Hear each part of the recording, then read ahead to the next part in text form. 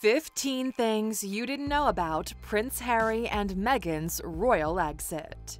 Welcome to alux.com, the place where future billionaires come to get inspired. If you're not subscribed yet, you're missing out.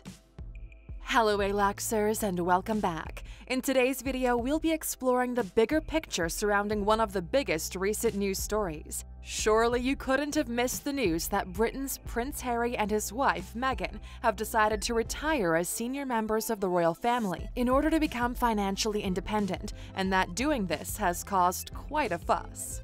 Perhaps you're wondering what their reasons are, what the future holds for them, or why this is such a big deal. Well, Aluxers, you can count on us to have you covered. So let's dive in and look at these 15 topical facts about Harry and Meghan. Number 1. Meghan isn't a typical member of the royal family. Until fairly recently, it was rare for a member of the royal family to marry a commoner, which means people who weren't born with an aristocratic title like Lady or Duchess. Although times have changed, Meghan is only the second American and first person of mixed race to marry into the British royal family. The last time an American married a member of the British royal family in 1936, it ended poorly, with the king at the time abdicating or resigning his duties, something that a lot of Brits don't forget that easily. And the fact Meghan was divorced also raised some eyebrows in the British monarchy, which is still pretty old fashioned. So while a lot of the public in the UK were more than happy for Meghan to join ranks, some more conservative parts of British society didn't welcome her with such open arms. Number 2. Being a senior royal is a full-time job.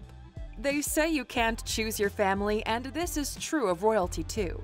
Harry and Meghan will still be members of the royal family. They're stepping down as senior members of the royal family. But what exactly does that mean?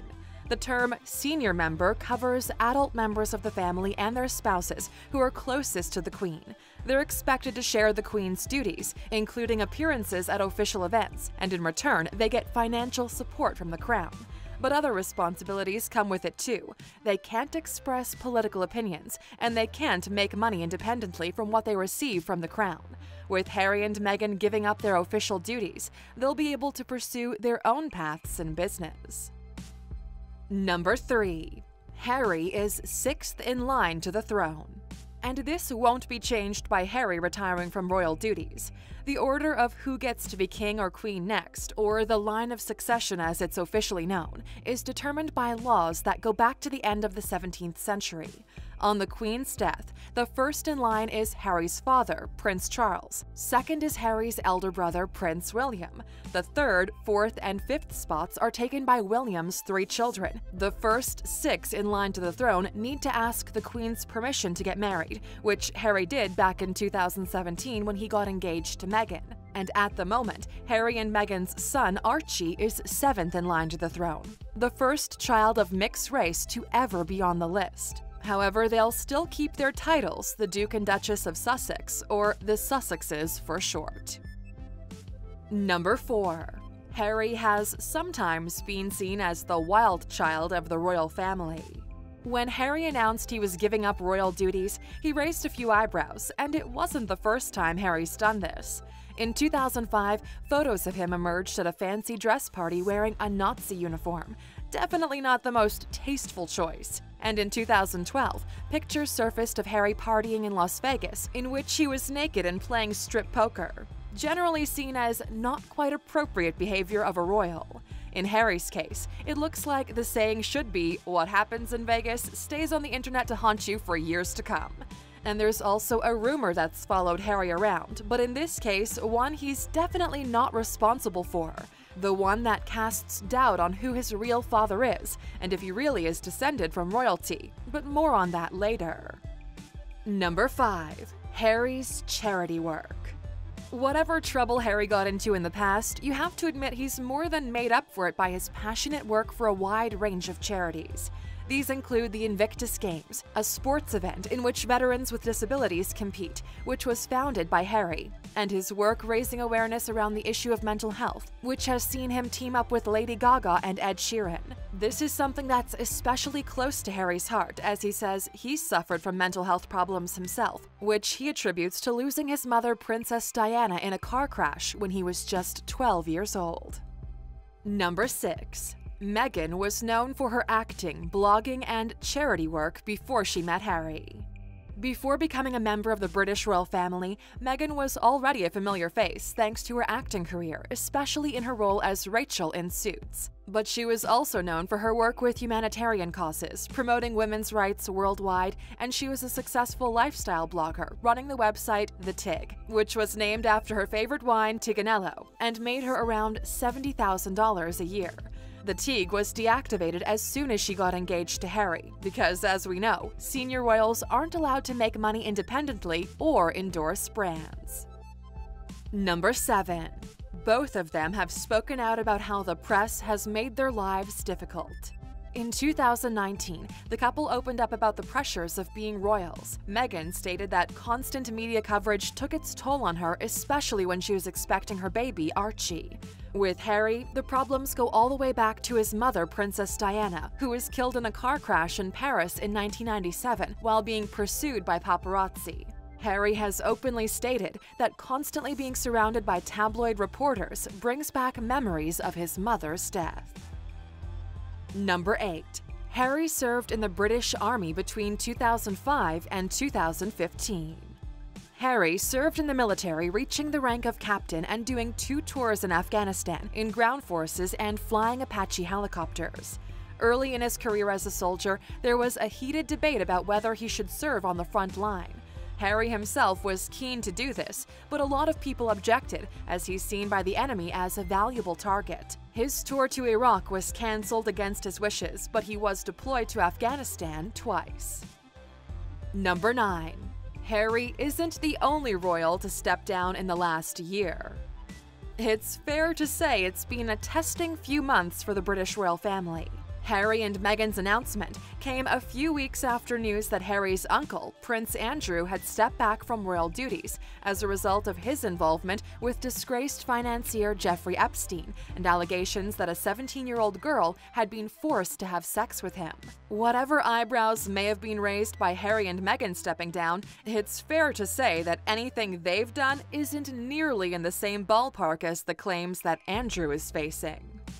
Number 10. They have a combined fortune between 30 and 40 million dollars.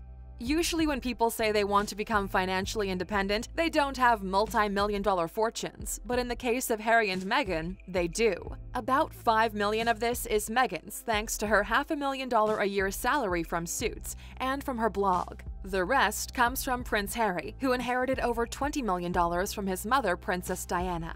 As senior royals, they also received something called the Sovereign Grant from the Crown, which they'll no longer be entitled to after stepping down, as well as an allowance from Prince Charles. However, whether or not they'll still receive this isn't known. Number 11. They could be set to make even more money than they did before. Harry and Meghan may be giving up the money they receive officially, but once they're allowed to make money independently again, this could add up to a whole lot more. Harry could join the world's top public speakers who could earn six figure sums from single appearances. The Sussexes have also trademarked a range of clothing, calendars, and souvenirs, which indicates they could be about to start selling their own merchandise. And there are unconfirmed rumors that Meghan has signed a voiceover deal with Disney, putting her acting skills to use once again. And with her higher profile now, she'll be able to command much higher fees. Number 12. Harry and Meghan are both media savvy. It's clear that Meghan has proven her internet skills with her blog, The Tig, and although the royal family might not be that well known of posting videos that go viral, Harry seems to be the exception. Videos that earned him a lot of fans include the one in 2016 where he responded to a challenge from President Obama to promote the Invictus Games, and in 2019, a video with Ed Sheeran to promote awareness around mental health and redheads. Both of these showcased his sense of humor and natural charisma, which we could be seeing more of once he's no longer an official senior royal. Number 13. There's a lot of speculation that Harry isn't really Charles's son. Of all the gossip surrounding Prince Harry, one that just won't go away is a theory that he really isn't a blood member of the royal family, and that his biological father isn't Prince Charles, but a man named James Hewitt. The evidence looks convincing at first. Hewitt was Princess Diana's horse riding instructor, and the resemblance, starting with the red hair, does raise some questions. But the timeline of the events shows that Princess Diana couldn't have met Hewitt until 1986, two years after Harry was born. And although Harry might not look that much like Charles, just take a look at Charles's father, Prince Philip, when he was Harry's age. Number 14. The Sussexes are likely to move to Canada. Harry, Meghan, and Archie have recently been spending a lot of time in Canada and have stated they want to split their time between the UK and North America, and so far Canada looks like the most likely place for them to call home. But why Canada? Neither of them are Canadian, but they both have connections. Meghan lived in Canada while working on Suits, which was filmed in Toronto, and while the couple were dating, they spent a lot of time in Canada. Besides this, Canada doesn't have the same kind of intrusive press the USA is known for. The response in Canada has mostly been positive, with coffee chain Tim Hortons even offering them free coffee for life if they move. Not that they're likely to need it with their fortune. Number 15. The Obamas could become mentors to the Sussexes. If you want a dazzling career after leaving public office, there's nobody better than the Obamas to look to for advice. With speaking tours, the success of Michelle Obama's autobiography, and deals with Netflix, they've really been doing well since Barack left the presidency. And it's been reported that the Obamas have already been advising the Sussexes on their life outside of the royal family. This makes sense as they've been close friends for years, and both couples combine their star status with a passion for social causes. Well, Aluxers, that's a wrap for today, but before you go, we're curious. Which do you think Harry and Meghan should focus more on? Charitable foundations, lifestyle brands, or should they combine them both? Let us know in the comments. And of course, for sticking with us until the end, here's that bonus you're waiting for. They say that every girl dreams of marrying a prince, but in the case of these two, it was the other way around, because it turns out that Harry had a crush on Meghan long before their first meeting on a blind date organized by a friend. Harry was a huge fan of the show Suits, and had even told his friend that Meghan's character Rachel was his ideal woman. Meghan, on the other hand, said she wasn't aware of who Harry was. As she explains it, being American, she really didn't know all that much about the royal family. Thank you for spending some time with us, Aluxers.